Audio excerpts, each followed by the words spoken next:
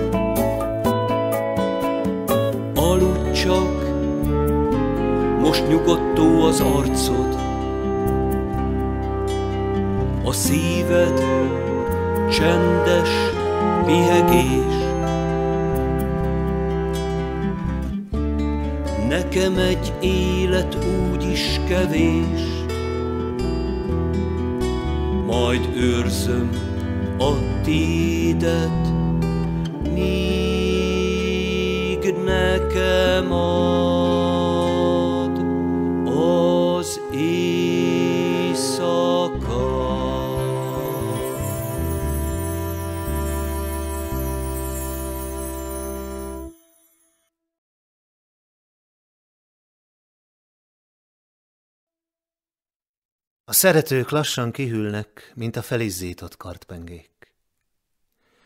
Szép pókháló szövődik köztük, amit nem tépnek el a gyengék.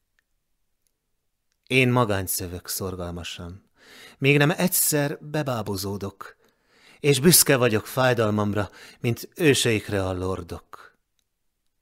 Amit magamtól elszenvedek, miért szenvedjem mástól duplán? Álmaimra vigyázok, a kétszer-kettő józansága hurrám.